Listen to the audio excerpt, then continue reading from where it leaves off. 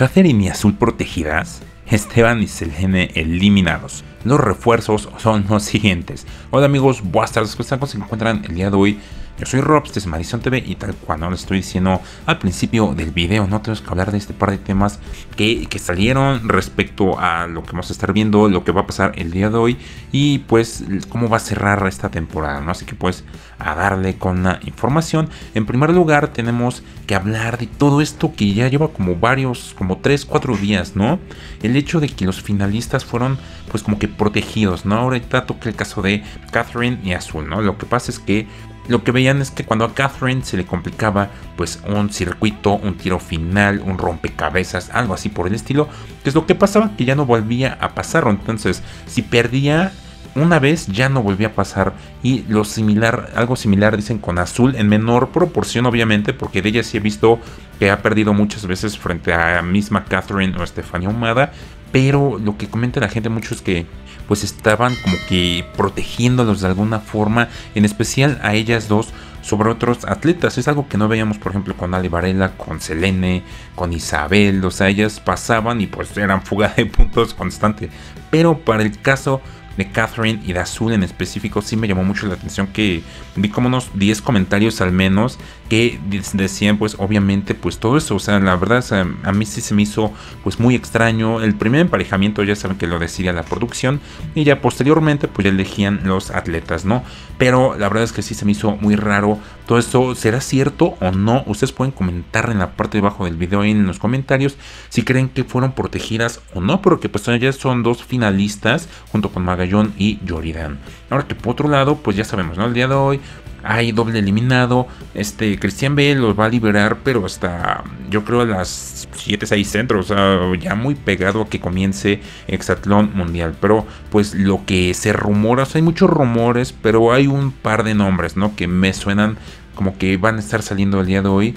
Son el caso de Esteban y de Selene.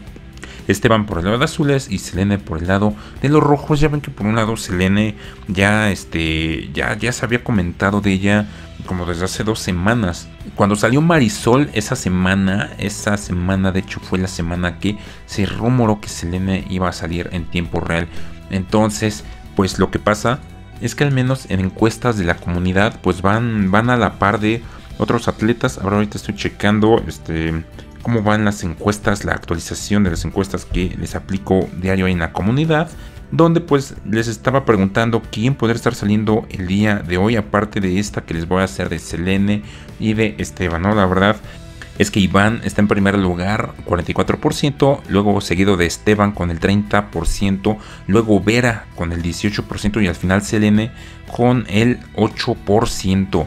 Y eso me lleva al, al tercer este, pues tema, ¿no? Que teníamos que hablar de los refuerzos. Se supone que estarían pues inmunes al menos el día de hoy, ¿no? Pero ya la siguiente semana es un hecho, es casi un hecho que van a estar pues saliendo, ¿no? Obviamente pues ya sabemos los cuatro finalistas que ya se filtraron como desde hace cuatro días. Entonces ya sabemos que ellos van a salir. Lo emocionante, lo interesante es ver en qué pues orden y de qué forma salen los, los refuerzos los dos refuerzos de los azules, porque pues eh, lo que comentaba la gente es que no tenía sentido, o sea, entraron dos semanas, dos, tres semanas, la verdad es que no tenía sentido que hubieran metido refuerzos, sí iba a pasar todo esto que iba a suceder, de que iban a terminarla, y la manera en cómo la terminaron, la verdad fue pues desastrosa, ¿no? O sea, es lo que más he visto en comentarios.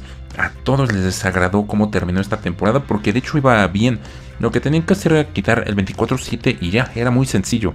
Lo que pasó es que encimaron esta séptima temporada con All Stars y seguramente van a salir con el cuento de que ya no van a ser Rexatlón la siguiente temporada, algo así por el estilo, van a estar liberando porque pues lo precipitaron mucho, o sea, van a estar encimando All Stars porque van a decir que esos cuatro que están metiendo de la séptima temporada pues son All Stars, ¿no? Ya como, o sea, van a decir que como les dieron el auto, ya son ganadores. Entonces, como son campeones, merecen estar con otros campeones. Pero pues tuvieron 7 semanas, o sea, todos los demás atletas tuvieron de 4 a 6 meses de competencia y ellos tuvieron mes y medio, o sea, hay mucha diferencia no pueden decir que son All Stars porque los otros sufrieron mucho más. O sea, Valeria Sofía, todos ellos estuvieron muchos más, mucho más meses encerrados en Hexatlón, ahí en la Romana. entonces no es All Stars en ese sentido. Eso es algo que mucha gente me ha comentado que no considera justo el premio este que les van a dar y el hecho de que pudiera darse el caso de que no estén ganando ninguno de ellos los 200 mil dólares, la verdad es algo muy injusto y la salida repentina de los otros atletas ni se diga, ya en otro video les estaré platicando ¿no? de la injusticia principalmente para los gemelos y los atletas que fueron explotados. Así que, pues hasta aquí la información. Yo soy Robs, desde Madison TV. Suscríbanse al canal, activen la campanita de notificaciones. Y pues nada, nos vemos a rato con otro video. Más información, noticia impactante de última hora. Me despido, cuídense mucho. Bye bye.